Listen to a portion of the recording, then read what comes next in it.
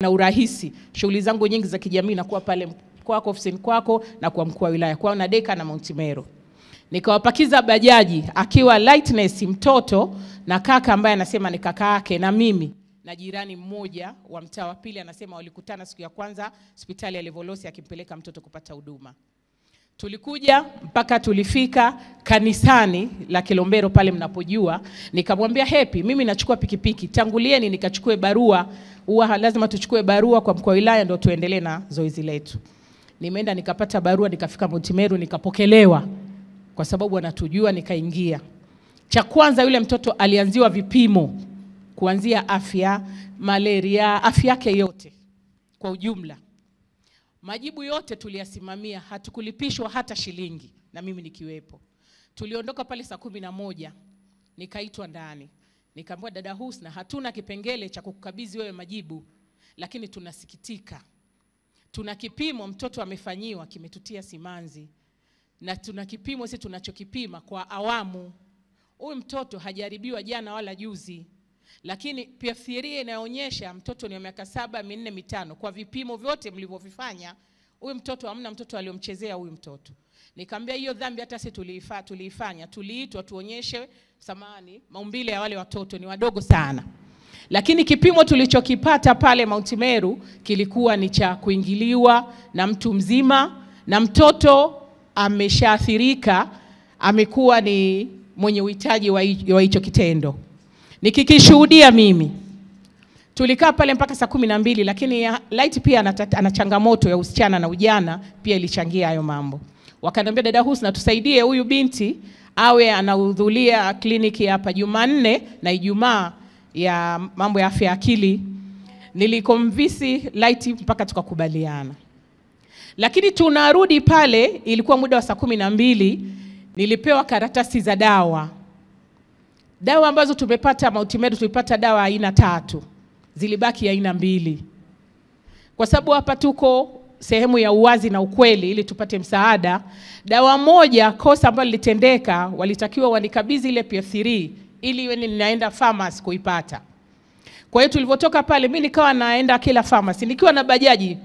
Mheshimiwa mkuu wa mkoa, kwa gharama zangu kuanzia kituoni, tunatembea na bajaji na nimefunga kila hospi, kila pharmacy wanasoma wananiambia hakuna. Nilikuja kupata majibu kwa nini nanyimwa dawa. Siku nimeenda nimeitwa kutoa maelezo jumba la pale Central, ili jumba la huko anasema ndio kwa rais hiyo. Siku nimeenda wakaniambia, Daus, na ulikuwa unanyimwa ile dawa wakijua kwamba wewe ulikuwa unapoteza ushahidi. Walikosea, wangekupa barua ya kujitambulisha, ile dawa ulimpata. Ile dawa nilikuwa napewa ya kumsaidia mtoto kurudisha maumbile na kumfanya asipate ile, ile hali ambayo anaisikia. Kwa hiyo nilipambana na ile kesi, Mheshimiwa mkuu wa mkoa, karibu mwezi nikiwa naenda Murieti, naenda Mount Meru. Siku ya siku tunaenda, mimi nikawa nimesafiri, nimerudi naambiwa kwamba Light, uh, kabla sijaondoka jioni napigiwa zahanati ya Sombetini, mimi pia ni mjumbe wa zahanati. Nikaitwa, nikaambiwa, Dahusa, samani kimbia sana, wewe ndio utatusaidia Nikamwambia nakuja. Nafika naambiwa sasa hivi yule bajaji inaondoka. Ndo ameondoka. Nani? Wanaambia kuna mtoto amelawitiwa, lakini anazungushwa, hapati msaada wowote. Nikamwambia mtoto anaitwa nani? Wakachukua faili wananikuta. Nikamwambia huyu mbona jirani yangu, na mimi kesi mimi ninayo na nimeifanyia kazi na nimempa dawa za kununua na za bure, mimi nimezitoa na dawa mbili nazitafuta, lakini nimepata jibu. Kwa nini ile, ile dawa sijaipata? Ndio nataka nika nikarudi Mount Meru wanipe tena ile PF3 nimtafutie huyo mtoto dawa. Wakaniambia basi ana changamoto, ndo amekuja anasema mtoto amelaitiwa jana. Nikamwambia hapana, mtoto alilaitiwa siku za nyuma na tarehe ishirini moja mwezi wa tatu mimi nimeanza na hii kesi. Wakaniambia tunamsaidiaje, mmempa nini? Wakaniambia nafikiri alisikia tulivyosema kuja dada Husna aje, tuliona anasimamisha bajaji akaondoka. Mheshimiwa mkuu wa mkoa, ni nyumba ya tatu kutoka kwangu. Basi tukarudi mi nyumbani, nikarudi mbio Muriet, nikamwambia kuna habari zote mmepata? Majibu ya bado Lightness yanahangaika, majibu ambayo mlitakiwa nyie yaje hapa tuendelee na hili zoezi mmeshaletewa. Kaniambia tumeletewa, lakini hivi ninavyokuambia dada Husna, ingia kwenye mtandao, naingia kwenye mtandao namkuta ndio yuko kwenye kliniki yako. Nimemsikiliza mpaka mwisho, naondoka, nafungua geti, nakutana na jirani yake, ananiambia dada Husna, Light anapigwa anapigwa na bwana ambaye tuna suspect ndio aliyomfanyia mtoto kitendo. Huyu mtoto amefanyiwa hichi kitendo na bwana yake ambayo sio jana wala juzi, na ushahidi upo. Siku ya kwanza hichi kitendo, rafiki yake Lightness ndo alimuogesha mtoto na kumsafisha. Niliumia sana, nikatoka pale nikaenda Muriet, nikachukua na askari tukaja mpaka nyumbani, tukamtafuta yule binti ambaye alitoa ushahidi kwamba aliofanya hichi kitendo ni mume, sio watoto. Natoka mimi nikapata ushahidi mwingine, jirani yetu kuna nyumba ya mfugaji, ana kamera nyuma, akanambia dada Husna, hao watoto michezo hii wanayo, lakini sisi tuliona kwenye kamera yetu, tulivyowaita wakasema mtoto ndo anatulazimisha tumfanyie. Nikamwambia sasa tunachukua hatua gani? Usiku asubuhi wakaniambia rudi Mount Meru hospitali upewe barua. Nimefika pale, daktari akaniambia dada Husna, hizi ndio changamoto tunazokuta kwa wateja wetu, lakini kwa sababu liko kwa mheshimiwa mkuu wa mkoa, hebu tulipe time. Tukalipa time siku tatu, mimi ndo naitwa sasa kuojiwa. Niliongea kama ninavyoongea. Lightness anaitwa akutane na mimi, hakutokea. Ushahidi tunaopata ni kwamba yeye alikuwa anataka hela na alisema anataka laki sita baada ya kujua kwamba aliyokufanya hicho kitendo aliokuwa ni bwanake ambaye sijui ni mume wake. Tukaanza hiyo kazi. Nilipigiwa simu na watu, nilikuta meseji kwenye mtandao. Nafikiri tuna mtandao haki za binadamu tupo. Niliwapigia watu wawili, nafikiri ndio wewe na Idi, nikamwambia ili swala mnalolishabikia kwenye huu mtandao mna uhakika nalo? Naombeni ushirikiano. Sikupata ushirikiano.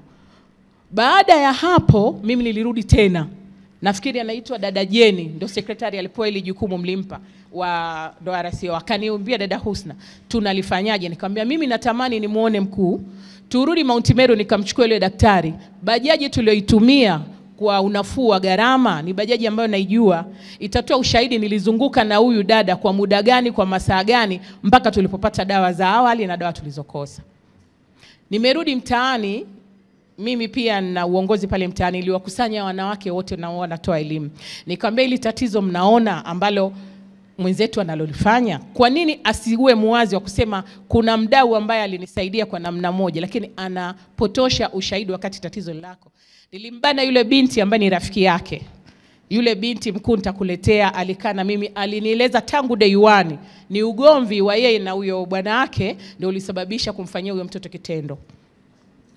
Kwa hiyo kesi inakuja kubumbuluka na majirani wanakataa kwamba watoto wa ahame pale, yeye ndo alipowashikisha wale watoto wadogo. Ila ni kweli wale watoto wanasababishwa na yeye mtoto mwenyewe, na ni watoto ni wadogo. Kwa hiyo ilivyofika baada ya tamko lako, tukaanza kulifanyia kazi. Ushahidi na nyie hapa mko wana sheria, mtoto wa miaka mitano, sita, saba ana, ana, ana haki ya kufunguliwa mashtaka kwenda magereza au mahakamani, wakati ushahidi wa maumbile yake pia aliangaliwa kuta hayana nguvu hizo, wakati mtoto ameharibika kabisa. Nikisema ameharibika, ameharibika. Kwa hiyo yule mwanasheria alijibu, wakasema kwamba hii kesi ina, ina mkanganyiko. Kwa hao watoto tuipumzishe, tuanze kutafuta ushahidi lakini binti anakutana na watu wanamtoa kwenye mitandao. Kama kuna ya mwisho aliposti mtoto amefungwa mtandio, akisema anafanya hivyo kwa sababu mtoto kila saa anataka kujiingizia vitu.